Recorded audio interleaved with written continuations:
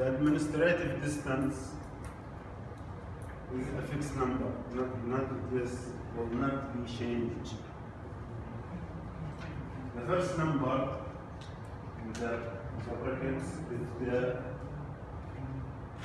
the administrative distance in routing table is the first number.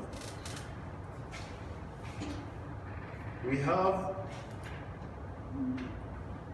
many research administrative each protocol have administrative distance 80.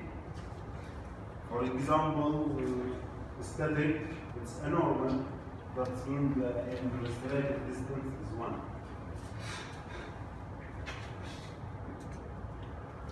Static is 1, IGRP 130, RIP 120.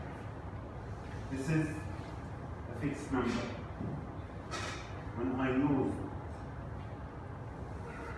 The protocol of one of them, then the administrative distance will not change. Okay, I have a question. What is the difference between, between the lowest number or The lowest is the better. is the best? Have a network, maybe have uh, OSPF and IGRP. The routing table will take IGRP. Uh,